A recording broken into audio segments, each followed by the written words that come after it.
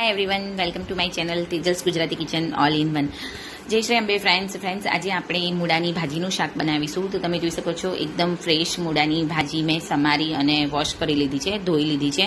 આની અંદર મેં મૂળા નથી સમાર્યા. આ ખાલી મૂળાની ભાજી જ છે. મૂળાની ભાજીને સમારીને આપણે ધોઈ દેવાની છે. ત્યારબાદ કઢાઈમાં ચારથી પાંચ ટેબલ સ્પૂન તેલ લઈ અને તેલ ગરમ થાય ત્યારબાદ હું રાઈ એડ કરીશ, હિંગ એડ કરીશ. રાઈ મારી તતડે. ત્યારબાદ હું કઢાઈમાં ફ્રેન્ડ્સ કેપ્સિકમ મરચાં અને લસણ મેં ઝીણા સમારી લીધા છે. ત્યારબાદ મેં ભાજી એડ કરી છે અને સરસ રીતના હલાવી દઈશ હું.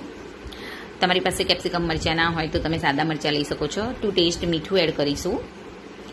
વન ટેબલ સ્પૂન હળદર એડ કરીશું અને સરસ રીતના હલાવી દઈશું. કેપ્સિકમ મરચાં બાળકોને તીખા ના લાગે એટલે મેં આ યુઝ કર્યા છે. તમે સાદા મરચાં પણ યુઝ કરી શકો છો અને થોડું ચારથી પાંચ કડી લસણ લઈ શકો છો ફ્રેન્ડ્સ ધીમા તાપે દસથી પંદર મિનિટ આ ભાજીને આપણે કૂક થવા દેવાની છે. આની અંદર પાણી નથી એડ કરવાનું.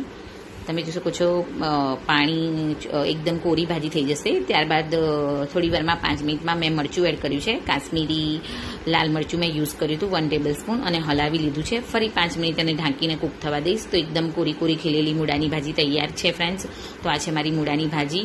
ચોમાસામાં મૂળાની ભાજી મળતા જ હોય છે. તો તમે પણ ટ્રાય કરજો. અને તમે રોટલા જોડે ખાઈ શકો છો. રોટલા જોડે, ભાખરી જોડે, રોટલી જોડે, ગમે તેની જોડે ટ્રાય કરી શકો છો. અને મૂળાની ભાજી હેલ્થની દ્રષ્ટિએ તો બહુ જ ઉપયોગી છે ફ્રેન્ડ્સ તો તમે પણ ટ્રાય કરજો. અને મારી આ રેસીપી પસંદ આવી હોય તો આ ચેનલને લાઇક મારા વિડીયોને લાઇક અને ચેનલને સબસ્ક્રાઈબ કરશો. ફરી મળીશું એક નવા વીડિયો સાથે. Thank you for watching